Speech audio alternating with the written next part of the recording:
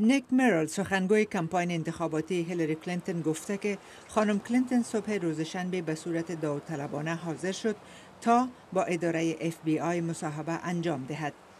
این مصاحبه که در دفتر مرکزی اف بی آی در شهر واشنگتن صورت گرفت مدت سه و نیم ساعت دوام نمود. مصاحبه در حالی صورت گرفت که به تدویر جلسه انتخاب نامزد حزب دموکرات برای کرسی ریاست جمهوری فقط چهار هفته باقی مانده است. انتظار می رود دموکراتان هیلری کلینتون را رسما من حیث نامزد ریاست جمهوری حزب دموکرات برای انتخابات هشتم ماه نوامبر تعیین نمایند. با کمک شما ما برای جلسه نامزدی حزب به فیلادلفیا برمیگردیم با بیشترین رأی و بیشترین نمایندگان انتخاباتی. قانونگذاران جمهوری خواه خواهان تحقیقات مستقل روی این موضوع شده می‌گویند بر وزارت عدلیه اعتماد ندارند که در مورد آن بیطرفانه قضاوت نمایند.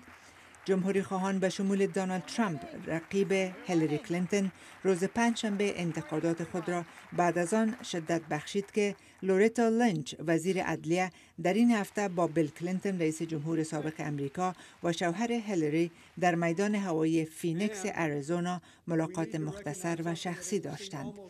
لنچ گفت که آنها روی موضوع تحقیقات ایمیل های هیلری کلینتون بحث نکردند اما اعتراف کرد که ملاقاتشان مناسب نبود.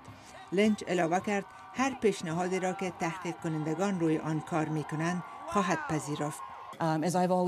همانطوری که من همیشه گفتم این موضوع توسط افراد مسلکی و تحقیق کنندگان وزارت عدلیه مورد تحقیق قرار دارد.